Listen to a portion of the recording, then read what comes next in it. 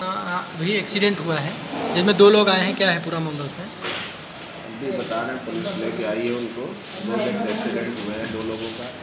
उनमें से एक लोग को एक्सपायर है वो लेके आए एक लोग बहुत अति गंभीर अवस्था में उनको अभी हमने इमरजेंसी में एडमिट करके ट्रीटमेंट चालू किया है। लेकिन उनको भी काफ़ी सीरियस गंभीर अवस्था में ठीक।